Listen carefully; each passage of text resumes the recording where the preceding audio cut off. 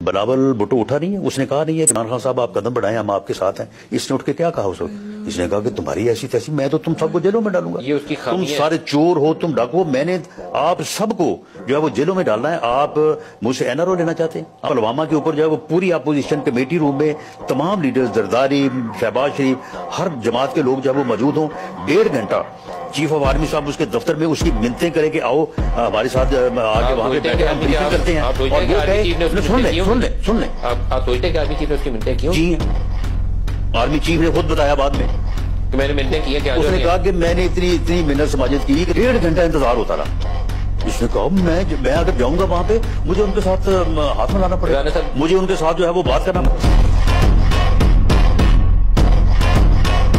ये जो आप